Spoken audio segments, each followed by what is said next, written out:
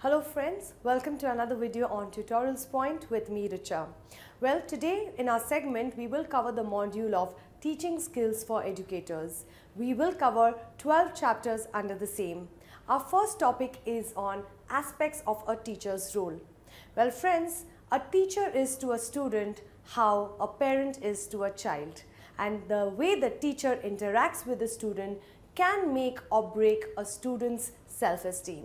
So today in this module, we will try to understand what are the different aspects of a teacher. On the agenda today, we will understand, identify and explain the different aspects of a teacher's role, identify the significance of a teacher as a planner, as an information provider, a facilitator, an assessor, a reformer and a role model. Well, I'm very excited to teach you on this particular module and hence let's get started right away. Well friends, aspect of a teacher's role. As I mentioned before, a teacher's role is not only to teach a student. She has multiple roles and responsibility and she actually helps to carve the life plan or the career plan for a child or a student. Let's look at all of these so a teacher is a planner. She helps to plan the student's entire life plan and hence as a planner she plays a very important role.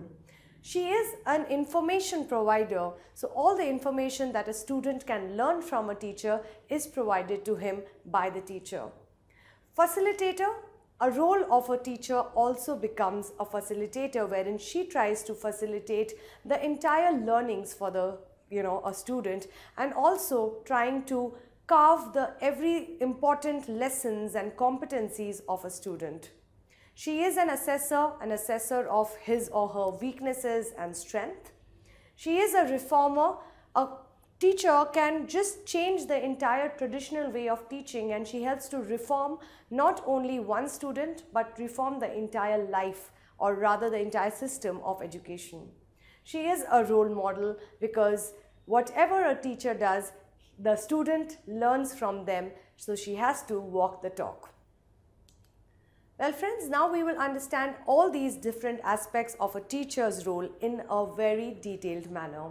So today as a teacher, as a planner is, she helps to chalk out the students where, when, how, what, who and why.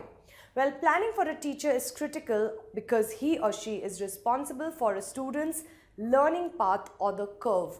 Well, if a student is able to learn something, it is only because a teacher has planned the curriculum very well.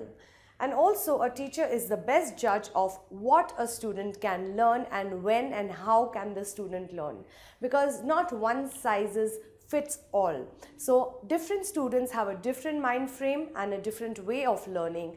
A teacher is the best planner in terms of how to make the student learn. So a teacher as a planner can build or break the self-esteem of a student.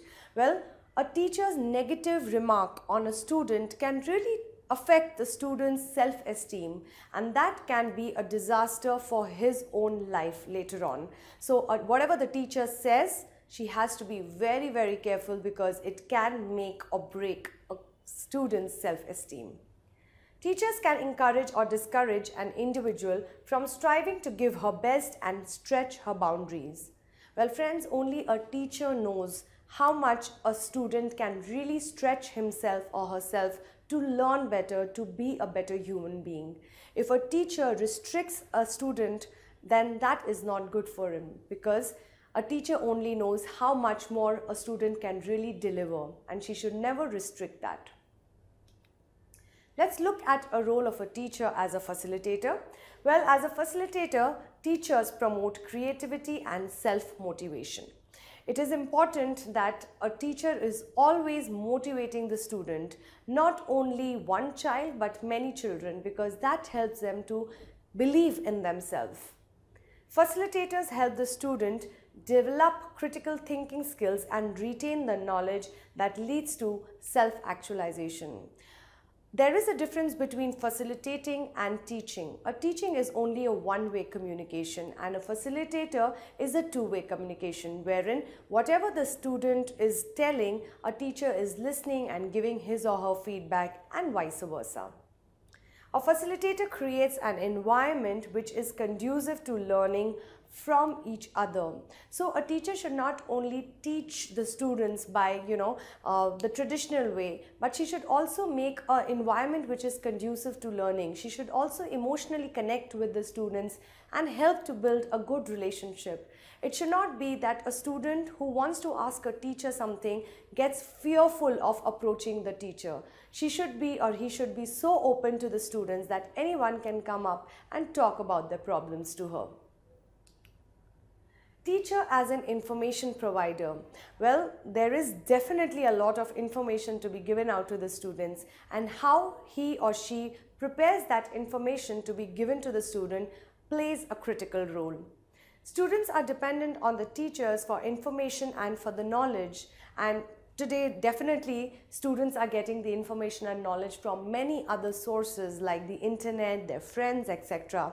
However, friends, teachers still play a very critical role in providing all the information and knowledge to the students. Teachers form the foundation of basic knowledge and empower the students to excel in different fields.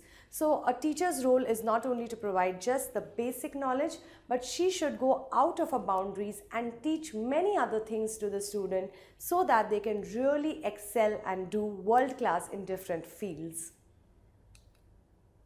Teacher as an assessor. Well, let's take a look at how a teacher can also assess.